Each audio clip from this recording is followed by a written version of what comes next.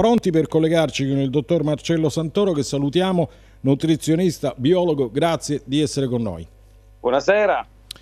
Allora, eccoci qua, uh, la vediamo dal basso in alto noi. Eh? Sì, ho dovuto cambiare lo strumento sì, perché sì. La, il collegamento col computer non era va bene, efficiente. Va bene, va benissimo anche così, l'importante è il contenuto, no? poi alla fine, insomma, immaginano il loro perché.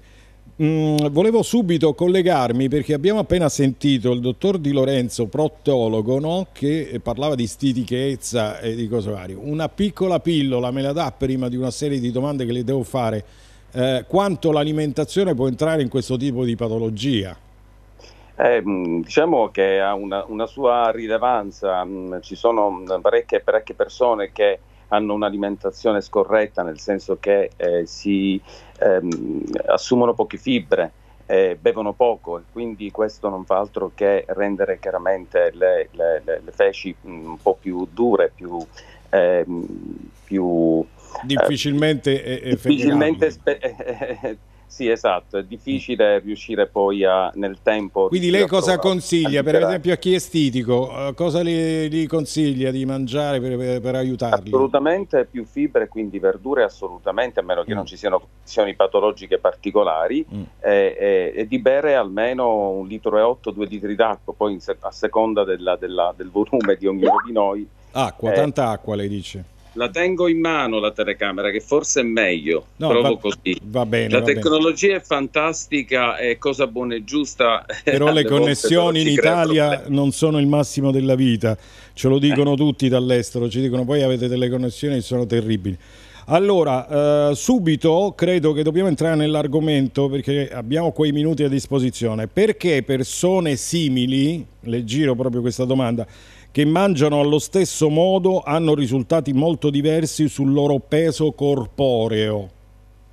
Sì, eh, diciamo che eh, le necessità nutrizionali di, delle persone eh, sono diverse a seconda di caratteristiche eh, diverse, nel senso che conta moltissimo l'età, eh, parlare con questo strumento in mano è difficile. Sì, allora, no, lo poggi, lo poggi, andava meglio prima, ecco, perché sennò sembriamo... Ecco, forse è anche, è anche meglio. Da sensazione del Parkinson. Mm. Quindi dicevo, eh sì, infatti, eh. dicevo, lo, quindi lo, dipendono molto dallo stato fisiopatologico del paziente, dell'età del sesso, dell'educazione, della, dell'attività fisica che il paziente svolge. Facciamo un esempio che può essere eh, rende chiaro il concetto. Se un ragazzo di 30 anni che fa attività fisica è eh, un signore che generalmente lavora seduto al computer per tutta la giornata, mm. pur assumendo la stessa quantità calorica, lo stesso, e la stessa eh, qualità di alimenti, è, è molto verosimile che uno dimagrisce e l'altro ingrassa, perché ci sono tantissimi fattori che entrano in gioco, quindi varia la composizione corporea dei, vari, dei, dei due soggetti in questo caso. Certo, eh, evidentemente perché poi l'attività motoria è legatissima a un discorso di alimentazione, eh, lo sappiamo. Uh, le, le, pongo un'altra domanda, perché quando si comincia una dieta ipocalorica inizialmente si hanno buoni risultati, mentre col passare delle settimane dei mesi lo sforzo sembra aumentare a fronte di un calo ponderale ridotto. L'abbiamo perso il dottor Santoro? Ecco, sì, l'abbiamo perso. Vabbè, sarà stato qualcosa che ci è andata storta, no, di quello che abbiamo mangiato noi sicuramente. Allora, mentre noi poniamo queste domande, io volevo ricordare ai nostri amici telespettatori, eh, ristabiliamo il collegamento con il dottor Santoro, che chiaramente voi potete anche eh, porre le domande durante la messa in onda delle nostre repliche, non fosse altro perché noi raccogliamo queste domande non facciamo altro che poi girarle agli esperti e di volta in volta abbiamo la possibilità anche di riascoltarle eh, e porgerle in un'altra occasione, quindi voi continuate come state facendo a inviare i vostri messaggi che sono utilissimi per eh, aiutare un po' tutti, no? quelli che, che, che, ci seguono. Eccolo qua, il dottor Santore è ritornato proprio per parlare delle, delle connessioni. Insomma.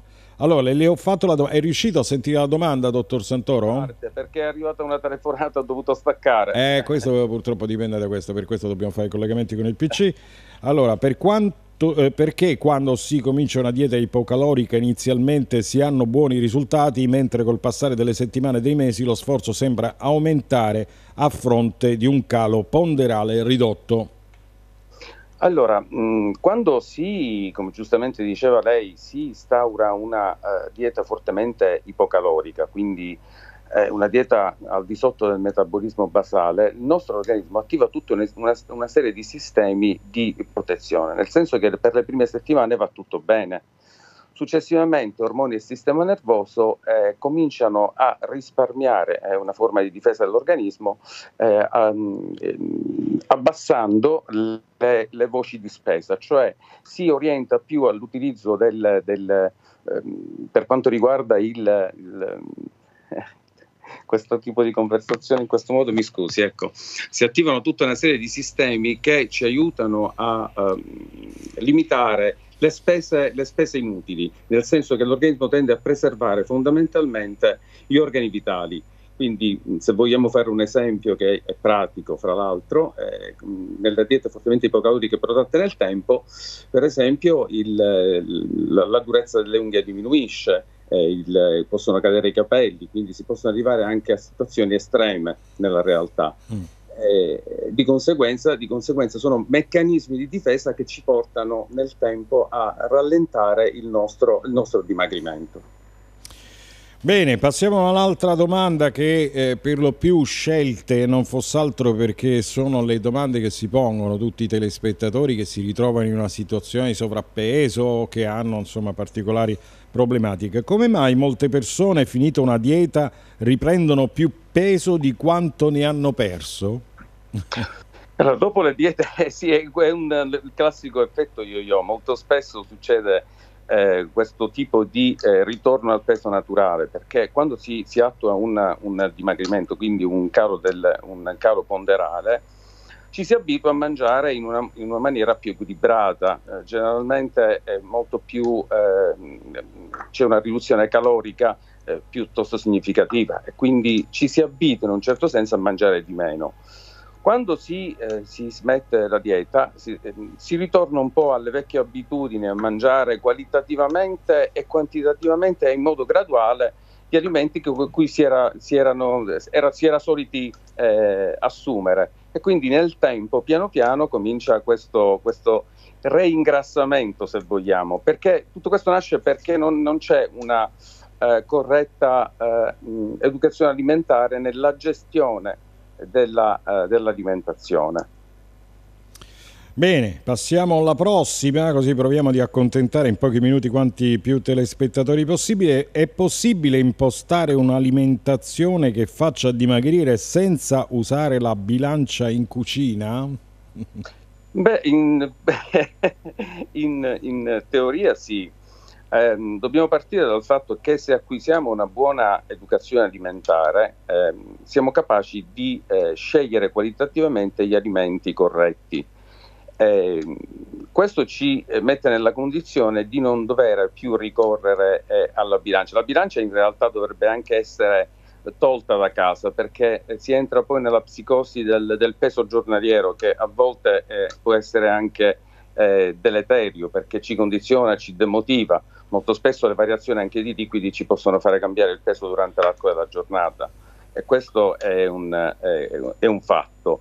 Quindi se utilizziamo cibi qualitativamente validi, quindi cibi a basso indice glicemico, utilizziamo molto poco i carboidrati, sicuramente possiamo eh, evitare l'uso della bilancia nel, nel, nel, nel, pesare gli alimenti e quindi andare meno a, poi andarci a, andarci a pesare. Bene, una penultima domanda. Allora, quali sono, se esistono, i cibi che bruciano i grassi? Eh, I cibi bruciagrassi in realtà, cioè il concetto di bruciagrassi non esiste, eh, almeno per quanto mi riguarda io credo che non esiste il cibo bruciagrassi, non, perché eh, torniamo sempre al concetto di, di corretta alimentazione. Se pratico una buona attività fisica, se mangio eh, in relazione al mio consumo e se mangio qualitativamente alimenti eh, dove non eccedo con i carboidrati, eh, specialmente carboidrati semplici, intendo dire eh, zucchero, eh, miele, marmellate, eh, sicuramente, sicuramente tendo a perdere peso e a raggiungere un peso ottimale, ma in realtà il vero bruciagrassi come alimento è, una, è, una, è, una farlo, è farlocco pensarlo. Bene. Allora, un'ultima domanda, eh, siamo giusto in tempo, è sempre necessario l'uso degli integratori durante una dieta, dottor Santoro? Eh, l'integrazione di per sé racchiude una parola carenza e devo dire che nel, nel, nel, nostro, nel nostro emisfero carenza in realtà nutrizione non ce n'è visto l'abbondanza degli alimenti direi più che altro oh, se i, gli integratori sono pericolosi. Mm, quindi li sconsiglia? No, allora, mh, mm, sono gli eccessi che gli studi, le, evidenze, le, evidenze, scientifiche per quanto riguarda gli integratori si basano su poche patologie, per esempio il ferro è utile laddove ci sia carenza di ferro, i folati, la vitamina B12 in tutti quei pazienti, per esempio i vegani, che hanno una riduzione sicuramente importante di, questo, di questa vitamina eh, i probiotici nelle disbiosi, per esempio. Oggi si, si sta studiando anche un altro, un altro ceppo batterico, la Kermansia, che è una funzione più che altro di, eh, di aiuto nei pazienti con sindrome metabolica. Eh, però, nel, nel, come dicevo prima, eh, dico, mh, gli integratori in eccesso, c'è un uso sconsiderato di integratori, un po' la, si cerca la giustificazione a un'alimentazione scorretta. Tanto è che eh, sia JAMA ha pubblicato uno studio molto importante, JAMA è il Journal of American eh, Medical Association, ha pubblicato uno studio dove l'eccesso di vitamina A, di vitamina e di beta carotene può, può aumentare la uh, mortalità leggermente, sì, ma la può aumentare.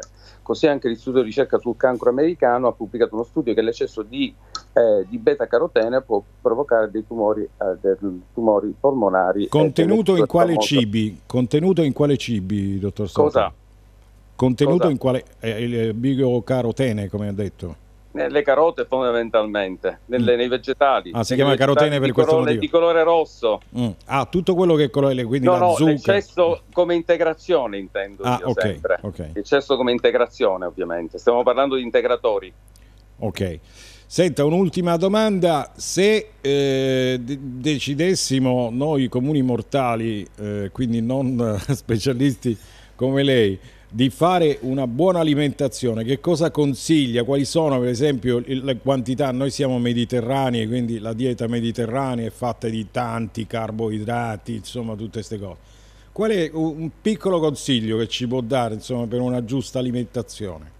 Utilizzare le, sicuramente gli alimenti di tipo vegetale, quindi le verdure, la frutta, sicuramente i cereali integrali, laddove chiaramente non ci sono condizioni che ne, ne impediscono l'uso, ovviamente. Certo. In quantità sempre moderate, evitare l'uso di, zucchero, di zuccheri semplici, come per esempio il, il, saccarosio, che è il normale zucchero da cucina, eh, piuttosto che il miele in eccesso, evitare i dolci, evitare pasti molto ricchi di eh, alimenti come i carboidrati, proteine insieme, piuttosto che eh, dolci insieme, evitare gli alcolici e i superalcolici in modo eccessivo il bicchiere di vino va benissimo, ma non esagerare non va bene. Evitare gli amari a fine pasto, specialmente la sera davanti alla televisione. Bene. Allora, abbiamo raccolto, noi la ringraziamo tantissimo, ogni consiglio Grazie, che ci arriva dagli... per la, lo strumento che non mi ha consentito di parlare non si preoccupi. Ci saranno altre occasioni sicuramente. Grazie per il momento, dottor Santoro. Grazie. Alla prossima. Grazie. Alla prossima. Allora, eh, siamo in conclusione di questo spazio che abbiamo dedicato alla medicina e alla salute. Come avete sentito abbiamo parlato di oculistica, di proctologia, perché abbiamo questo collegamento con il centro Salus che ci aiuta. Anzi, vi posso annunciare per la prossima settimana, attenzione, per due settimane parleremo di ortopedia con la dottoressa Irene scaduto e poi parleremo con il gastroenterologo il dottor Pirrotta, dunque altri due argomenti importantissimi eh, che ci serviranno per fare servizio pubblico. Anche questo naturalmente è un modo per incontrarsi. Roberto Oddo intanto vi ringrazio per essere stati con noi, per aver scelto la nostra eh, trasmissione. In regia sono stati Nino Tarantino e Matteo Volpe. Grazie a tutti ancora, ma buon proseguimento dei programmi di Tele One.